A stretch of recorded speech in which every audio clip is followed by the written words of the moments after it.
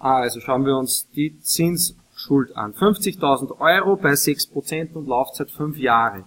Das geht jetzt ganz, ganz schnell, weil die Zinsen im ersten Jahr sind wieder die 50.000 mal die 6%.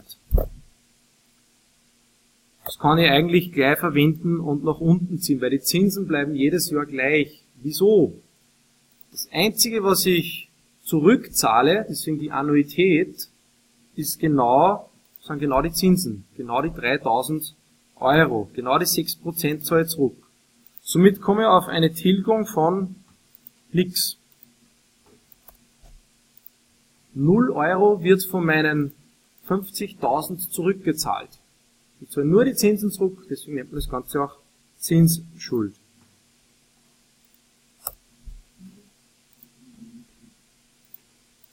Und die nächste Zeile schaut wieder so aus. Die nächste Zeile schaut wieder so aus, weil ich wieder genau von die 50.000 Euro 3.000 Euro äh, Zinsen habe.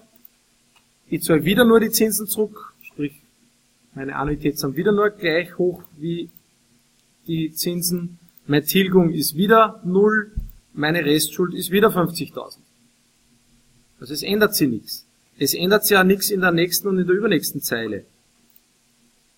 Zinsschuld bedeutet Annuität gleich Zinsen, ich zahle immer nur die Zinsen zurück.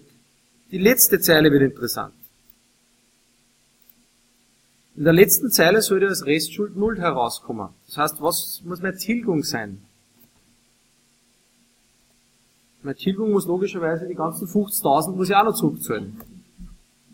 Das heißt, ich muss nicht nur die 3.000 Euro zurückzahlen jetzt für Annuität wieder gedacht, sondern eben auch die Tilgung 50.000, also in Summe, ich schreibe es jetzt mal umgekehrt her, muss ich Zinsen und Tilgung als Annuität ausgeben, damit zum Schluss wieder die 0 Euro Restschuld übrig bleiben.